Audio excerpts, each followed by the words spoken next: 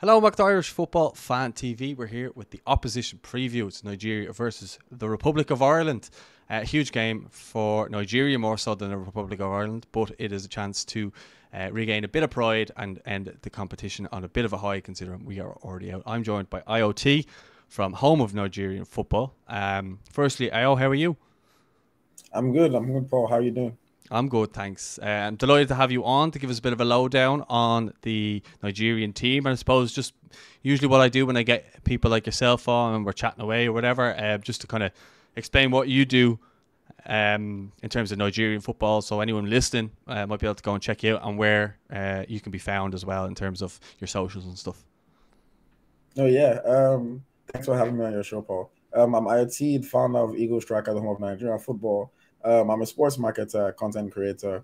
Um, promote Nigerian footballers as much as we can. Work, you know, hand in hand with a lot of Nigerian footballers as well on their branding, social media, um, sponsorships, and just making sure that you know the world sees Nigerian footballers as much as possible. Um, I just, I just love the game so much. I love my country so much, and uh, you know, we're doing the best job that we can to keep us in in global view. Well, that's brilliant, and I'm sure they, they really appreciate having someone like that uh, yourself uh, representing them as well. Um, and obviously, I've, i was checking out your Twitter and stuff like that because we uh, always looking to collaborate with different countries on you know talking about their teams and stuff like that. So when I saw your page, I was like, I have to get them on. And I know I only contacted you yesterday, and we had a couple of technical difficulties and stuff like that. But here we are now. Um, so yeah, we're going to get you to give us the lowdown on the Nigerian women's national team. Um, you know, the first game nil nil against Canada, and then yeah. the three two win against Australia. I mean, we've obviously struggled in games against the two. We've played the two as well. Um, the only team Ireland haven't faced so far is Nigeria. But I suppose from your point of view, talk us through uh, those two games and, and your thoughts generally on uh, on the World Cup so far. Um, yeah, I'll start from saying that honestly, it's been a fine, fine, fine World Cup for us so far. Um, it's only two games in. You know, we still have a lot of tournament left to play, but a lot of Nigerians are already pleased with how the ladies have performed. Um, you know, the, the Nigerian women's team is a team that unfortunately is not as followed as the men's team. And a lot of people just did not have um, that much faith in them, especially going into this group that was labeled the group of death, you know, against um, Canada, Australia, and Ireland. Um, rather, yeah. And, you know, it's, it's just been um, good for us so far. In the first game against Canada, we were very compact, you know, um, almost packed the bus, you know, I, I will say for that game. But um, from the coach's perspective, it was the respect that we had to pay to, you know, potentially one of the tougher sides in, in the group, you know, and we showed um, our defensive coordination in that game. You know, unfortunately, considering a penalty, but Chiamaka Nnadozie um, came up strong. You know, I've always held the opinion that she's one of the best goalkeepers in women's football. You know, no matter how you look at it. Um, and I'm happy that she was able to prove herself. At only 22 years old, you know, um, saving penalty from the legend Christine Sinclair. You know, and, and making some other fine saves in the game to to keep us in that match. You know, getting that draw against Canada gave the team a lot of confidence. You know, and help them understand that you know what we can actually compete against some of these tough you know, very difficult national teams. And um, obviously, you know, getting two of our best players in Rasheedat Ajibade and Halimatu Ayinde back, you know, for the second game. They missed out the first game due to suspension. Um, getting them back for the second game was a huge, huge plus for us. It allowed our attacking um, players to be able to play with some more freedom, knowing that, you know, the experience, you know, in midfield of Ayinde was there to protect them. Um, and of course, Rasheedat Ajibade is one of our best players. You know, she's 23 years old. She's a fine, fine forward. You know, dribbles so well with the ball, creates chances, and she works hard. You know, even coming back and helping the team in defense. Um, so I wasn't too surprised that we're able to create a few more chances against Australia. You know, frankly, um, before the game, I I had my own predictions on my show. I, I didn't necessarily think we would score three goals. I thought we would score two. You know, but of course, very happy to see that we're able to score goals against the Australian side. Um, consider the late header. You know, towards the end of the game, but you know, it's one of those things in football. You know, you might have the game in control, and then it gets into the last five, ten minutes of the game, and all of a sudden you're just under the course. You're having so much pressure on you. Um, but I, I, think it's been a fantastic performance for, um, from the ladies so far. You know, happy that Asisat Oshoala was able to get her goal as well. You know, becoming the first African player to score three um, three World Cups. You know, it, it's it's just been a fantastic one for us. Um, while, while, enjoying the moment so far, you know, going into this game against Ireland, uh, we can't take anything for granted. We have an opportunity to potentially top our group. Um, so that's something that we have to go all out for, and you know, try try to make history. It would it would be the first time that Nigeria finished some of their group at the Women's World Cup. So it would be it would be a fine one for us if we can get that done. Yeah, well, you know, from our point of view, we'll we'll obviously be trying to stop you from from winning, um, just to purely regain a bit of pride. I mean, we thought coming into the World Cup for the ter- first two games that it was going to be, you know, Ireland may be able to shock um, Australia and Canada, and that they were going to be the two teams that Ireland really had to kind of focus on, and, and Nigeria was going to be the game that we were going to try and win. But it seems to be the opposite case now, where Nigeria have, have, have probably outperformed the rest of the teams, um, especially beating the host nation in Australia and probably shocking them as well. Good result against Canada. Um, we, from an Irish point of view, we frustrated the two teams, but we just were ultimately weren't able to capitalise and probably missing that firepower up front to try and get the goals. I mean, we got the goal through Katie McCabe straight from the corner. She had an excellent performance against Canada, but we didn't have anything else to, to add to that. And I think um, if if if teams keep Katie quiet, we don't really have another option of, of we don't have an out and out goal scorer who's Denise O'Sullivan, Katie McCabe generally kind of score our bigger goals, or else a, a, set piece kind of. I think that's that's always how we've kind of set up. Um, and if you take that out of the team, then you know we kind of look a little bit lost, and that's kind of how things went, like in the second half against Canada and the first half against Australia. But from a Nigerian point of view, who should the Irish team be fearful of um, in this game on Monday? Um, obviously, the big name that we have on our team is um, Asisat Oshoala. You know, so any team knows that they have to pay her the due respect. You know, fantastic player, plays for Barcelona, scores scores a ton of goals every season. Um, I, I will give you give you this knowledge if you didn't have it already. She's nursing a um, you know a minor injury, you know, which is why she came off the bench against Australia and she didn't play the full 90 minutes. But she still showed that, you know, 30 minutes on the field and she's able to produce a goal, you know, and cause um, problems for the defense. Um, so that's something that you guys have to be worried about for sure. Um, I will also say Rasheedat Ajibade, um, the girl with the blue hair, you know, she, she plays from the left or the right flank, and she's one of our most creative outlets. You know, she's a player that is going to, if in most of the games that we play against the, the tougher nations, if you watch our matches, um, if we're to have any kind of positive result, you know, Ajibade probably had a role to play in, in, in that performance. So I think that's another player that, you know, you have to be worried about. And um, not so much a goal threat, but somebody that I believe always has the ability to run the park for us is um, Christy Ucheibe. Um, she plays as a defensive midfielder, you know, kind of a box to box player, but she gives everything for the for the team. You know, she's very aggressive on the um, off the ball. You know, she's going to be putting a lot of tackles, but you know, she has this this unique ability to go in hard every time, but concede, you know, very few um, fouls against her. You know, she, she's very good at timing her tackles. She makes a lot of interceptions, and um, I think that that's where the um, potential threats, you know, for the Irish people will, will come from. Um, and just to speak again, I mean, we still have Chiamaka Nnadozie in goal, you know, so um, another one that if you would like to score one or two goals against us, you have to make sure that you're coming with your A game because we have a top goalkeeper, you know, who's going to play and who's going to give everything to make sure that she protects she protects the goal for us. Um, I would say those are my four, I would say, most dangerous, you know, most important players for the Super Falcons at this time. And you know, um, are you confident going into this game? You've seen the way Ireland have frustrated the the other nations. I know you've scored the goals to kind of get past them, and you seem to have scored the most, I think, in the group um, so far. You can correct me if I'm wrong on that, but um, I think yeah, you have three goals. I think you you, you scored the most so far. Goals, yeah, yeah. Obviously, Australia. I think Australia have three goals as well. Okay, um, because obviously they have to play as well. Um, oh yeah, they would. Yeah, one against uh, us and two against uh, you guys. Yeah, yeah. So um, so I think are you, are you confident against us coming in? Because obviously you've you've done well against the two other nations who probably probably aren't as maybe defensive as us, but are you confident that if you can break us down, that we won't um, we won't be able to to do anything in response because, as I said, we, we just have a, a little bit of a lack of firepower at the moment uh, up top. Um, whereas Kyra Carusa is very good at kind of harassing defenders and causing problems and being a bit of a nuisance, but maybe not so much getting the service to, to score the goals because we don't really get that high up the pitch unless we're kind of like a goal down or we're, we're really pressing the opposition to try and get a goal. We, we don't tend to really um, put it up to teams. I thought we tried to do that a little bit to Canada in the first half, and then when they got their goal, we just fell flat and we didn't really have another another answer for them. But from your point of view, uh, how are you feeling going into this game? No, I mean, I, I, would be wrong to not be confident, you know, given how we've performed against Canada and Australia in the first two matches. Um, it's it's very interesting because um, before the tournament, you know, if you asked most Nigerian fans, um, Ireland was the game that we probably say no was the most winnable game. You know, most people didn't think that we could beat um, Australia, you know, even get a good result against Canada.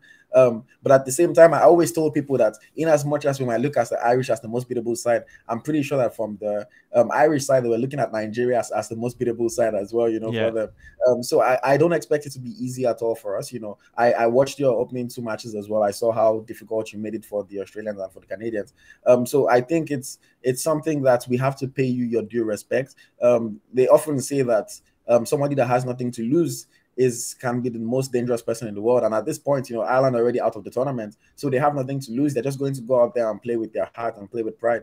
And if there's one thing that we know about Irish people from all different sports, you know, you guys have heart. Um, so I'm expecting I'm expecting them to give give their all. You know, Katie McCabe is a player that I, I like a lot, you know, and I think she's obviously going to be a threat. Um, so we're going to have to pay attention. Um, set pieces, you know, if you've watched our opening two games, you know, that's frankly an area that we haven't done our best, you know, um, in terms of defending set pieces so far. Um, we've considered quite a number of chances. I mean, Australia got their second goal from a set piece as well, and we've just we've just looked relatively shaky. Um, and I know that Kate McCabe delivers a fantastic corner. I mean, we saw the Olympic she scored, you know, in, in the game against Canada. So it, it's definitely not going to be an easy one. Um, but based on how the ladies have performed so far, um, I would be wrong to not back them and believe that they can get a positive result. Um, I'm curious to see how the coach sets up. You know, we have um, two players um, in our defense who are on yellow cards. Um, obviously, you don't want them to get a second yellow in this game and then have to miss in, in the round of 16 if we do get through. Um, so we might make one or two changes in the squad. Um, Osinachi I think she got hits in the game against Australia. I think she's able to play. Um, potentially, you know, I, I, don't know. We haven't heard anything about team news yet, but we might be missing um, Ayinde in midfield um, who got injured in the game against Australia. So we might be out one or two of our better players or one of our, our main starters. Um, so um, uh, rather, you know, not to talk down on anybody, but a fairly weakened team than what we've seen in the first two matches. Um, and again, playing against a team that has nothing to lose, it, will be an interesting one, you know. Um, but I, I really believe that the ladies have shown that they have enough quality to go out there and get the three points, you know. And even if we can't get the three points, I mean, they just have to pick up a draw, you know, to see us through to the next to the next round. But I will say at this stage, you know, maybe I would rather um, try to avoid England in round of 16. So I'm really hoping that we can finish top of our group, you know, and play the second place team from Group D. Yeah, well, I think you might be blessed. It's just that England have a lot of injuries now. Um, mm. So it might be a good time to actually face them if if, if you do get past obviously the Irish team. But uh, I think from an Irish point of view, I think maybe Vera Pauw although she'd be probably looking to win this game because it could potentially be her last game. Uh, just a lot of ton- mm. contract talks and will she, won't she stay on? And um, nobody knows what's going to happen there yet. But I think uh, if you're looking at some of the some of the players, she might actually give some players a run who maybe haven't played so far in the World Cup. Like so, it'd be interesting to see maybe even her starting team for, for tomorrow because a lot of the players have, uh, she's played the similar players who started games and stuff like that. I know Heather Payne missed out just through a hamstring tweak, uh, but Louise Quinn played through the pain against um, against uh, Canada the other day. So I think she might miss out, and if she does miss out, she'd be a huge loss because she's been absolutely amazing uh, with Niamh Fahey alongside her as well. Um, Áine O'Gorman came in for Heather Payne the other day, so you know, was that just a tweak? Will Heather come back in? Um, she gives us a lot of legs going up and down uh, that, that right hand side, uh, energy and pace. So yeah, it's going to be interesting to see how we set up in, that regard. And you know, will anybody come in in midfield? Will Agg come in instead of Ruesha Littlejohn? Um, up front, will Amber Barrett come in ahead of Kyra Carusa? It's going to be interesting to see what way we, we do set up. Although I don't think there will be that many changes, but I think it, it's a chance maybe to bring in some new players, maybe even start Abbie Larkin or Izzy Atkinson, maybe starts at left wing back and that pushes Katie McCabe further up the pitch. Who knows? So that's kind of where we're at. I think it would be interesting to see from a Nigerian point of view um, how we set up. I, I, would say you're kind of eagerly anticipating what way we set up. Would you say that's that's correct? No, yeah, that, that is very correct. I'm glad I'm glad you brought it up because I was thinking of it. You know, I would also be interested in seeing if, like you mentioned, you know, um, she might want to give um, some players that haven't had minutes in the World Cup. I mean, knowing that this is your last game of the tournament, you know, yeah, it would be nice to have some players get a feel of the game. Um, so if if they do make changes in, in the Irish team, would it weaken the team, you know, necessarily? Um, I, I don't know. You would know better than myself. But um, if it's not as strong as an eleven, as, sorry, I think it depends on where uh, where you're talking. Changes are made. You know, like I think you take Katie out of that position, although she's so brilliant going forward. She, she's so brilliant at her one-on-one battles and her duels. You know what I mean? It, not that, not that many people get the better of her. So when you take her out of that position, you put an inexperienced player like maybe Izzy Atkinson, who she's trying to get. Um, and she was kind of a late call up to the squad, and she took her chance, and she's been brilliant. But she still lacks a little bit um, of that kind of the dark arts and stuff at, at the top level, and maybe gets yeah. a little bit exploited uh, if Katie's not tracking back. Whereas I think if maybe she played someone like that as a left centre back in a back three, and then that kind of uh, you have the protection there of a left wing back who can cover it in. But then again, that takes Katie's game away a little bit too. So yeah, I suppose it would probably uh, weaken the team if she does do that. But I think it depends on the scoreline. Like if, if Nigeria are three 0 up at half time, I think you'll see a lot of changes in the second half, and I think she will probably bring on players and just give them a couple of minutes. But there's not that many that I can think of that you you throw in there and go, oh well, she deserved minutes. You know, it, basically the team that she has started with a lot of the time has been. Um, the best team that that's been available to her. I do do feel a bit sorry for Jamie Finn, who, you know, missed out on the squad. Essentially, um, she's kind of part of it. Uh, she's kind of on standby, so if anybody is uh, injured, yeah. she can come in. But she, like she played all the games in qualifying, she would have been perfect there. That right uh, wing back spot she played against Scotland, but for some reason she was she was left out, and Sinead Farrelly came in, who who has been good as well. But um, you know, she was retired for six years, and then she decides to come back, mm. and and Jamie was was playing all the games through qualifying. So I just think that was a little bit unfair, and some of those kind of decisions have been questioned now, especially if you look at how we're out of this tournament essentially. Yeah. Um, so yeah, so it's a bit of a long-winded answer, but um, yeah, I think it would weaken the team. No, I mean, good, good insight from you for sure. Um, and yeah, it, will be interesting. Um, just also see how we set up on our side. Like I said, um, players on yellow cards. Um, naturally, I would expect the coach to want to protect them a little bit and make sure that they don't miss out on round of 16. So you know, would expect those changes to come in. And um, it, it, would just be nice. It would just be nice if if we if I happen to be three 0 up at halftime, you know, I'll be jumping for joy. Um, I don't necessarily know if that's going to happen.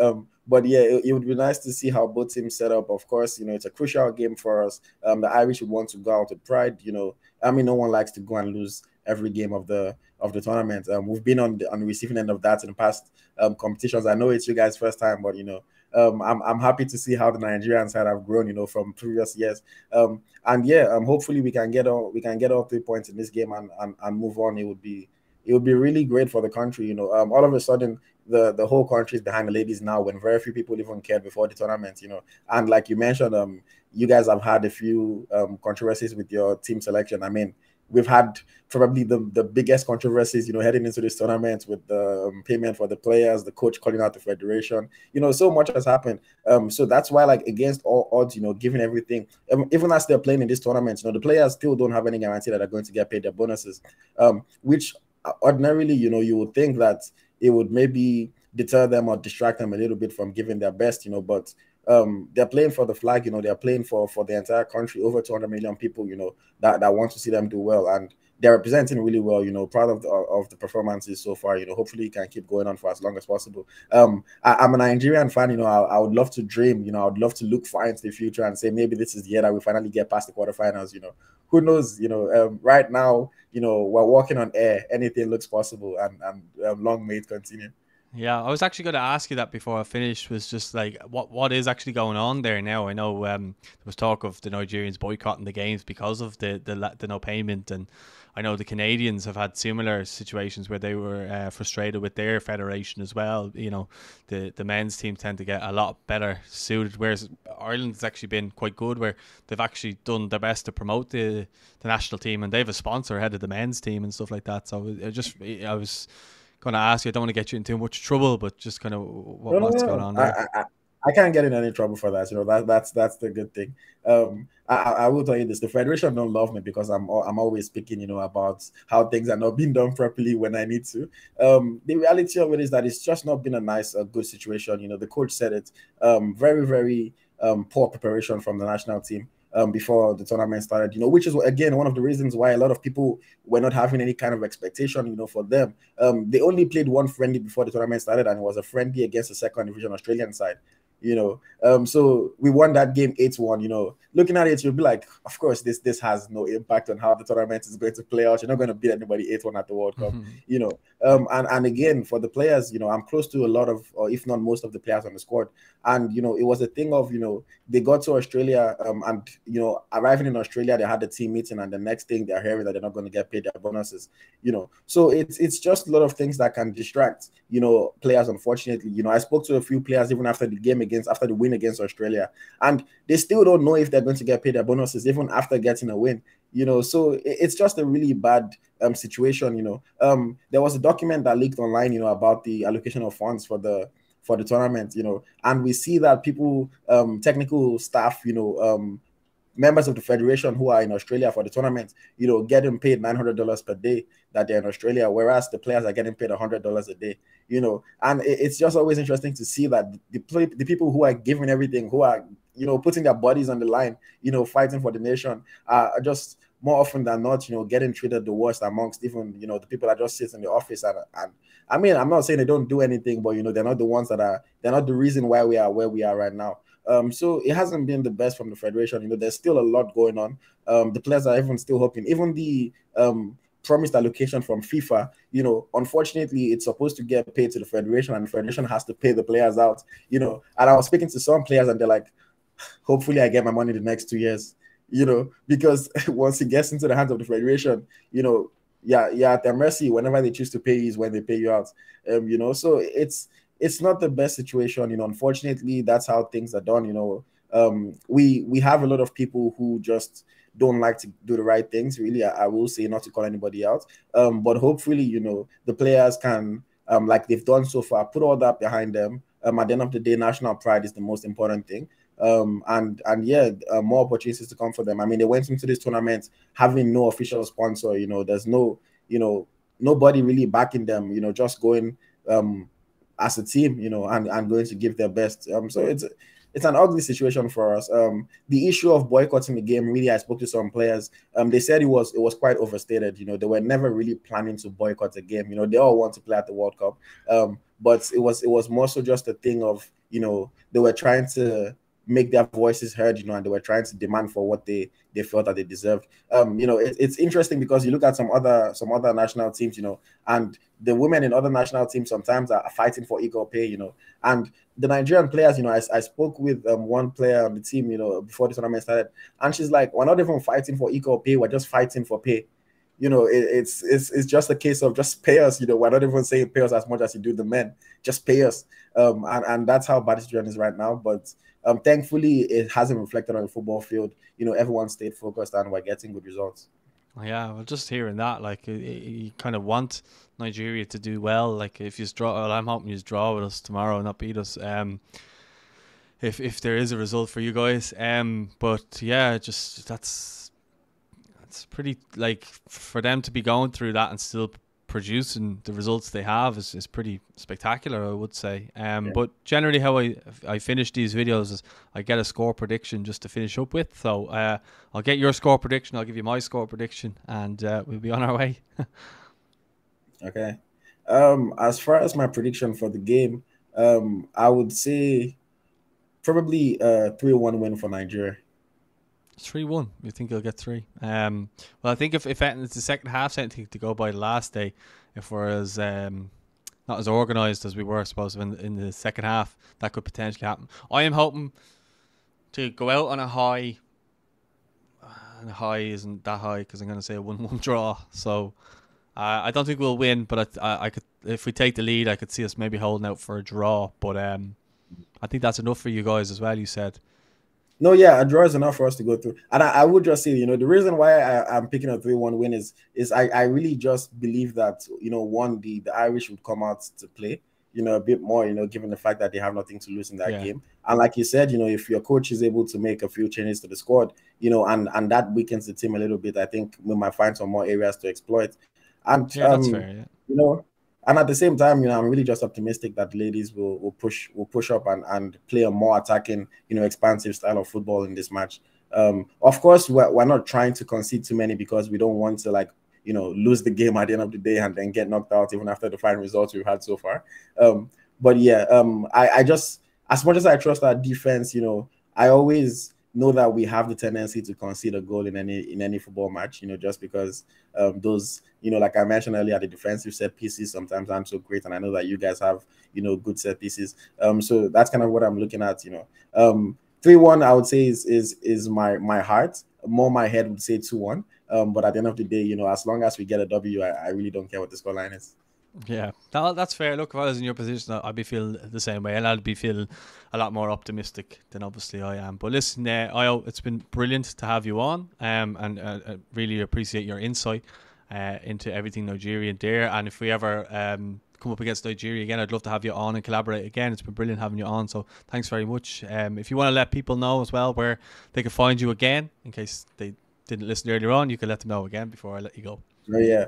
Um, thanks for having me on your on your show as well, Paul. Um, really, really interesting talking to you. I've learned a lot about the Irish team as well. And you know, if you'd like to find me, find my work um, on Twitter, we're at Eagle Striker NG. Um, we're also on Facebook if you use Facebook um, at Eagle Striker, and then we're on Instagram at Eagle Striker underscore NG, the home of Nigerian football. Thank you very much. Yeah, so guys, check them out. Um, don't forget to like the video. Don't forget to subscribe. And uh, yeah, more importantly, may the best team win. And uh, thanks very much. Enjoy your weekend and enjoy the game, of course. Thank you.